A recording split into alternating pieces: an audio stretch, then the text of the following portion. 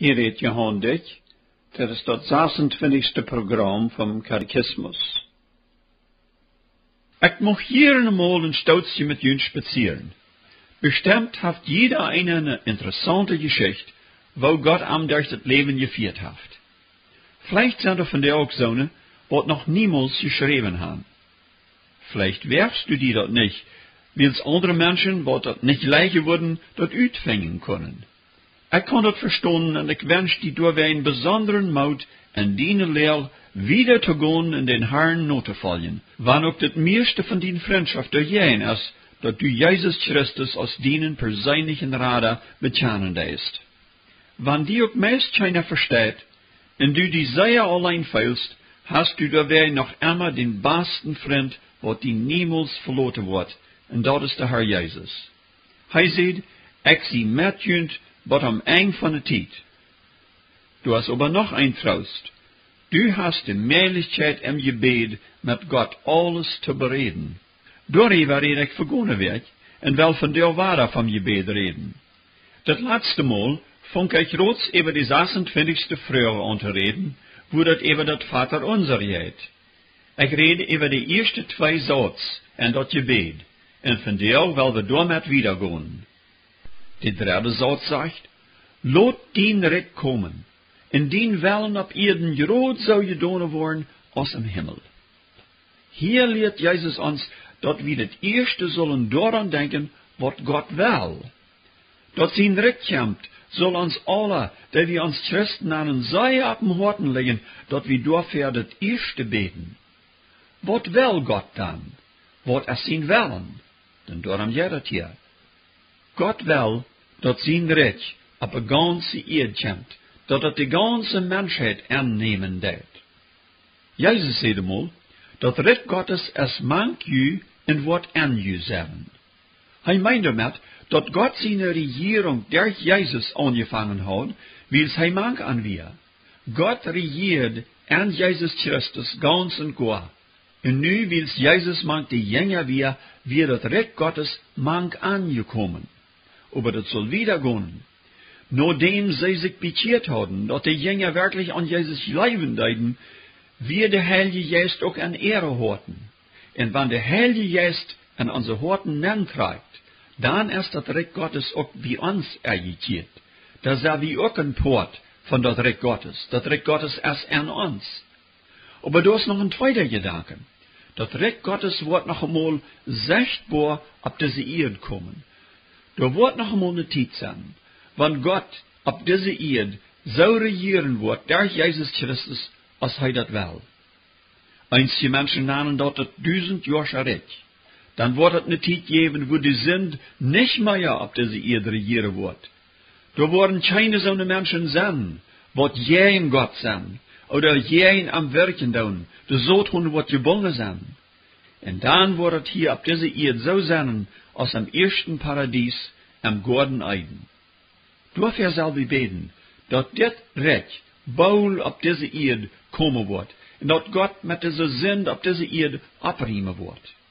Früher bist du al reid für dit Recht? Ist dit Recht al in dein Leben angeziert? Das kommt in dem, dass du ein Kind Gottes wirst. Und dann, wenn du ein Kind Gottes wirst, dann kannst du dafür beten, dass dit Recht Gottes op een ganze Erde sich uitspreiden wird, dat Jesus kommen wird und dat hij hier wird regieren. Wann wir beten doen, dann da wir mitwirken, dat dit Recht kommen wird. Die vierte Satz ist das erste von drei Dingen, wat wir für uns selbst beten sollen. Hast du gemerkt, dit Gebet fängt das erste mit Gott an. Wir denken das erste an an. En bloos de laatst, dan reden we en denken aan ons. Hier zegt het, Jef ons het brood wat we vandaag brokken. Dit trekt uit dat we op God vertrouwen kunnen, dat Hij ons dat allerneidigste jeft wat we brokken, en dat is het eten. Dit wijst dat we sogar voor het allerneidigste van God afhängig zijn. Geloof dat we zeer ver kunnen denken, we zijn onafhängig. We kunnen zelfs goed wiederkommen. We zijn zelfstandig. Ik habe sogar von Menschen gehört, Die sagen, worum soll wir noch dem Dash beten? Für dort eten, wat wir dort im Dash haben, habe ich gearbeitet. Worum soll wir dafür beten? So eine Rede ist dort, als die Rede von ungläubigen Menschen. Wie verjeten viel te schwind, dat het allerneidigste, dat eten, wat wir jeder Tag so reklich auf dem Dash haben, ans hastig kon wahrgenommen worden. Ich denke hier besonders an Russland. Russland wie wat een paar jaar terug eine Weltmacht. Dat wie een Land, wat in der ganzen Welt respektiert wordt. Viele Länder hadden Angst vor Russland. Von der liegt Russland wirtschaftlich ganz unten. Du hast sogar die Rede davon, dass Russland bankrott gehen wird. In von der gibt es sehr viele Menschen, die haben nicht einmal genug zu eten. Viele haben Angst, dass sie nicht worden durch den schweren Winter kommen. Warum? Ich glaube, das liegt daran, dass Russland für viele Jahre eine gottlose Regierung hat, die Kommunisten. Und die das gibt kein Gott. Und ich sage das von dir aus eine große Strophe, was Gott geschickt hat, um die Menschen in Russland zu wiesen, sie brücken Gott. Und das gibt sehr viele Christen in Russland, die leben an Gott. Aber im großen Ganzen haben die Menschen doch noch nicht erkannt, dass sie brücken Gott, um sogar bloß Eten zu haben. Doorheen soll wir immer dankbar sein für das Eten und wir sollen dafür beten, wann wir das auch haben. Und am dafür danken. Wir brocken an. Und er kann das sehr hastig wegnehmen, wann er will. Der fünfte Satz redet von das nächste große Bedürfnis, was die Menschen haben. Und dort ist, was wir mit unserer Sündenschuld tun sollen. Door jij dat zo, verjef ons onze schuld, so es wie die verjeven, die sich an uns verschuldigt haben. Das wies uns, dass Jesus dort für notwendig sagt, dass wir als Menschen frei waren von der Schuld, von unseren Sünden. Bloß Gott kann Sünden vergeben. Und das kann er bloß durch Jesus Christus. In 2. Korinther 5, 21 sagt dort, er hat den, der von keine Sünd wisst, für uns zu Sünd gemerkt, so dat wie en am kunnen die gerechtigheid worden, die für Gott gilt. Dat jetzt sehr viel Menschen in unserer Welt der, wat eine Last von Sünden sich widerschlapen doen. Die können meist nicht wiederkommen. Aber sie seien dort nicht an, dass sie sollen frei worden, und wo sie frei worden können. Das haben sie noch nicht begriffen. Und vielleicht bist du da von der, und du bist auch eine Sündenlast, die dreckt die, und du musst davon frei sein. Jesus sagt, wir dürfen Gott darum werden, dass wir davon frei wollen. Dann möchte ich einfach sagen, du kannst frei worden. Gott hat den Weg opgemerkt, dass du frei worden kannst. Dat ist der wahre Geburt. Du musst nie geboren worden. Und dann kannst du frei worden. Aber wo kannst du wahre geboren worden? Die Bibel sagt, wann wir an Jesus leben, wann wir das leben, dass Jesus für unsere Sünden gestorben ist. Er ist für deine Sünden am Kreuz gestorben. Hast du daran einmal gedacht? Jesus dacht an die, als er da am Kreuz hang. Und als sein Blut für deine Sünden verjeiten deed, dann gab es die Möglichkeit, dass du kannst gerat worden, dass Gott die deine Sünden kann vergeben. Hast du die Vergebung überall angenommen? Das ist die Frage. Wenn du den nicht angenommen hast, dass er sie auch noch nicht verjeft. Aber du kannst nur Gott kommen und du kannst am danken, dass er deine Sünden gedrückt hat durch Jesus Christus am Kreuz und dass du nu Vergebung haben kannst. Du kannst ihm dafür danken. Und hier sagt es einfach, verjaf uns unsere Sünden. Das jaft noch eins. Jeder Kind Gottes soll auch jeder Tag nur Gott kommen und sagen, verjaf mir, was ich von dir getan habe. Wils, sogar wenn wir Christen sind, jaft das nicht so, dass wir nicht mehr Sünden tun. Wir tun nicht mehr eine Sünde leben als früher. Aber irgendein Gedanken kann sündig sein. Oder ein Wort, was wir sagen. Oder irgendwas, was wir in anderen Augen tun haben, ohne wir dort eben neu gedacht haben, kann eine Sinn sein. Da wer ihn sagt, so wie unsere Sünden bekennen, so ist er treu und gerecht, dass er uns die Sünden verjaft und reinigt uns von aller Untugend oder aller Ungerechtigkeit. Dat kannst du als ein Kind Gottes jeder Tag tun und dat soll wir auch tun. Aber da ist noch ein zweiter dabei. En diesen Satz wird aber was uitgedrückt, was wir meistens gar nicht begreifen. Das sagt, verjaf uns unsere Schuld, so als wie die verjeven, die sich an uns verschuldigt haben. Wenn Gott mir so verjeven soll, als ich andere verjeven dou, ha ich dann wirklich Verjevung? Dat is een goede vraag, die zullen we ons alle vragen. Dat jaft zo'n mensen, die han en erhoort, nog hoort op irgendwem. En bestemd is dat ook goed verstaan, waarom einste mensen beter zijn, in de hoot materialen op een ander mens. Die heeft aan vielleicht zeer teuer gesagt, die heeft Antwoorden über angeredet, oder die heeft irgendwas gedaan, wat an zeer, zeer gestaat heeft. Zo'n mensen vingen dat kirken schwor, die mensen te vergeven. Besonders, wenn die Jan je dat nicht bechanen doen, oder terugkomen en aufbrachen, dann ist es noch besonders schwor. Aber Jesus sagt uns, wir können bloß an Vergebung werden, wenn wir willig sind, andere zu vergeben. Wenn wir irgendwo je andere haben, dann kann Gott uns auch nicht vergeben. Dat is een schworet en een hoort woord, daar zullen we even nadenken.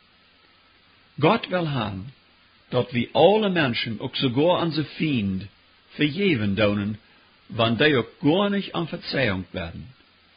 Dann wird Gott uns auch vergeben, wann wir durch Jesus Christus nur am kommen. Dann kommen wir nur den sechsten Satz. Da sagt es, bring uns nicht in eine Versicherung, aber bewahr uns für den Beisen. Was meint er hier mit Versicherung? Ich glaube, er meint hier, dass wir nicht in so eine schwere Proben hineinkommen, wo wir vielleicht den Herrn Jesus würden ganz antrü worden. Das kann sehr leicht passieren. Durch Krieg, Hungersnot, Verfallung oder ein grautet Eilig. Aber das sind vielleicht nicht immer die schlimmsten Dinge. Ich glaube, für erst die Versicherung noch viel gerater, wenn wir auf einmal wurden ein grautet Familien oben, oder wie viel Geld haben dann ist die Versicherung noch gerater, dass wir Gott verloten. In wie Leben, wir kommen Gott selbst durch das Leben, wir brücken Gott nicht mehr. Hier sagt es, bring uns nicht in eine Versicherung. Wir sollen immer darüber bedürft sein, dass wir von Gott aufhängig blieben. Und dann ist hier aber noch ein zweiter dabei. Was meint ihr damit? Bewahr uns für den Beisen. Jeder einer, wat sich Jesus Christus wahrhaftig heimgegeben hat, hat een grote jene, en dat is de beise Fiend. Die mocht jeder Christ so tausaten, dat hij nicht mehr für Gott seine Ehe lebt. Als du die mal bekehren deitst, wahre geboren warst, dann nahm der beise Fiend Kenntnis davon. Wils, hij wist dat du nu uit zijn Recht en Gott sein Recht angetreten wirst. Du wirst von am Wach gegangen, du wirst nur Gott gegangen. En nu heeft hij dat uit voor die. Hij wil die toen vol brengen. Aber weißt wat het raadste is? Hij wil gaan dat du als een Christ wirst auffangen so zu leben, dat Gott nicht mehr die Ehe hat durch dein Leben. Dat du Gott nicht mehr verehren deitst. Dat du für dich selbst lebst. Und dat du so lebst, dat andere Menschen sagen, wenn dort ein Christ ist, dann will ich kein Christ sein.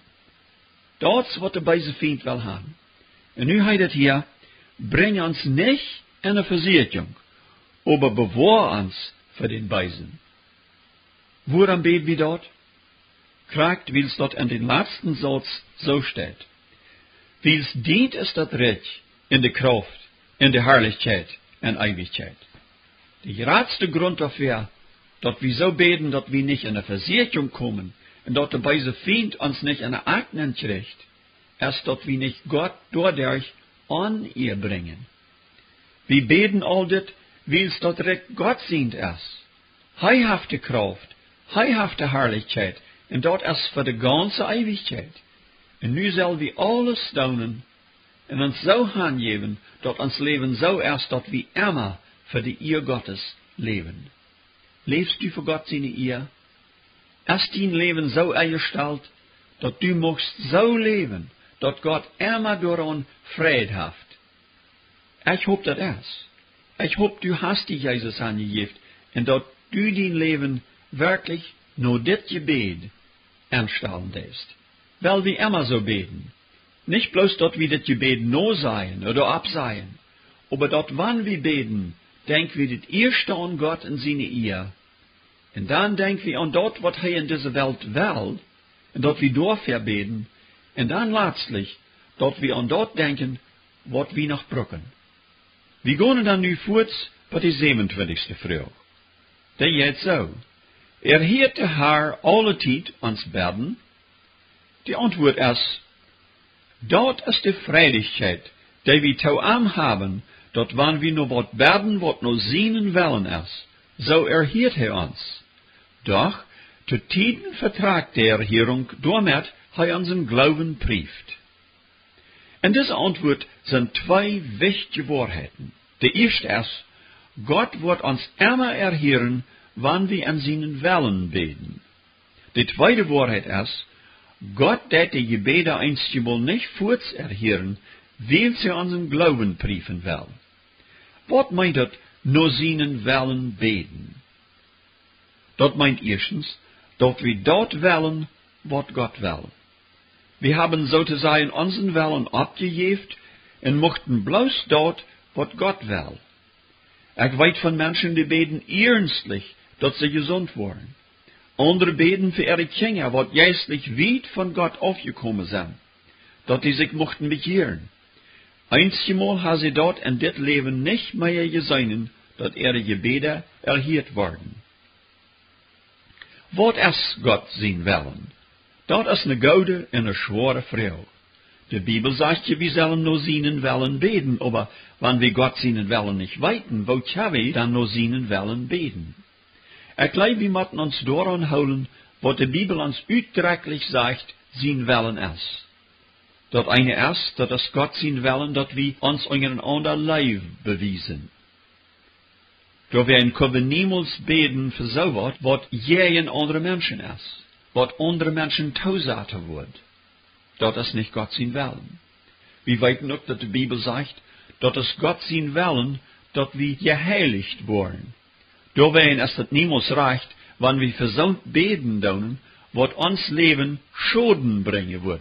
Oder ons Leben wird eine Gefahr bringen, dat wir je in Gott sündigen würden.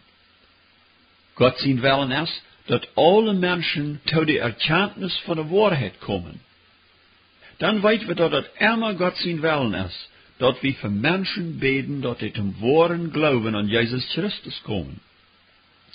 Wir können für unsere Kinder beten, dass sie sich bekehren und zum Glauben kommen, wann sie erst alt genug sind, das zu verstehen. Wir können dafür beten, dass unsere Eltern, unsere Geschwister, unsere Freunde, dass Menschen an der ganzen Welt, ja, und sogar unsere Leiter in der Regierung, zum wahren Glauben an Jesus kommen würden, dat ze ware geboren worden in een nieuw leven vieren wat God gefällig is. Dat je hebt ook gezegd dat mensen beten dat ze worden gezond worden. En dat passiert niet. Dit is zeer schwer, wanneer dat niet passiert. Einzige Menschen sagen, dat es immer Gott sein willen, dat wir gesund worden, dat wir nicht krank sind. Aber die Bibel sagt das noch nicht. En de Bibel fängt wie so, dat einzige Menschen geheilt worden en andere nicht. Warum nicht? Dafür habe ich keine Antwort. Wir weiten, dass Jesus sehr viel Menschen heilen deed. Aber dann weiten wir auch, dass es ein Apostel Paulus gab. Und die kommen um Herrn, dass er sagt, er deed dreimal durch wir beten, dass er an diesen Stachel im Fleisch wegnehmen wird. Wir weiten nicht, was das wir. Einzige glauben, das wären seine schlechte Üren, dass er wird besser sein können. Aber Paulus sagt, Gott deed das nicht. Gott sagt zu ihm, meine Genot riekt für die touw. Laat die für die genoeg zijn. En zo wordt Paulus nicht geheilt. En vielleicht bist du von dir in dieser Leo. Du bist krank und du hast dafür gebet, Gott, du mich doch heilen. Wir weiten dort nicht, ob Gott die heile wird.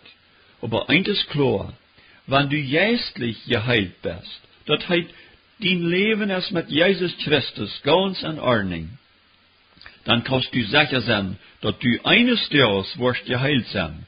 Vielleicht nicht in dit Leben. Vielleicht wird diese Krankheit dort führen, dass du sterben musst. Aber wenn du reit bist, am zu begegnen, dann wirst du ab immer geheilt sein, und das wird doch viel besser sein, als du, wo du nu bist. Lot nicht Not für die von dir genug sein. Amen.